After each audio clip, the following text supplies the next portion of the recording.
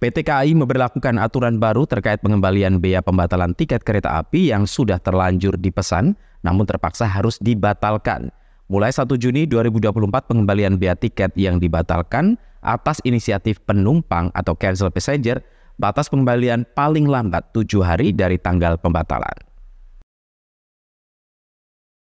Manajer Hukum dan Humas KAI Daob 9 Jember Cahyo Widianto mengatakan, Sebelumnya pembatalan tiket atas inisiatif penumpang biaya dikembalikan 30 sampai 45 hari setelah proses pembatalan melalui transfer bank ataupun tunai.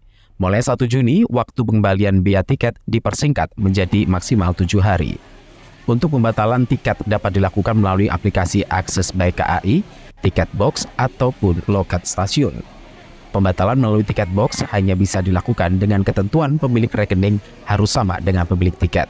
Sedangkan pembatalan tiket melalui aplikasi akses Baik KAI bisa dilakukan bila pemilik akun akses Baik KAI yang digunakan untuk pembatalan namanya termasuk dalam penumpang pada tiket yang akan dibatalkan. Pengembalian biaya tiket pembatalan tersebut akan dilakukan melalui transfer ke rekening bank ataupun dompet digital atau e-wallet.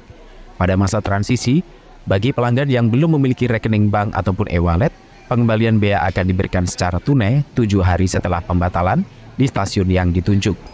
Bagi pelanggan kereta api yang membatalkan tiketnya akan dikenakan biaya administrasi sebesar 25% dari harga tiket di luar biaya pemesanan.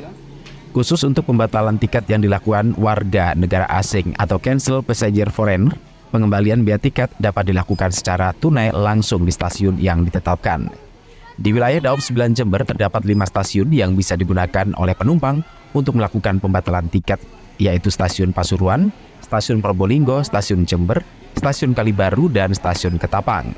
Penumpang dapat membatalkan tiket di akses baik KAI selambatnya 2 jam sebelum keberangkatan kereta api atau di loket stasiun selambatnya 30 menit sebelum keberangkatan kereta api.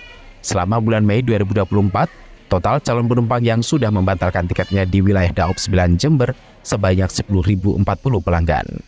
Handoko Kusumo, CTV.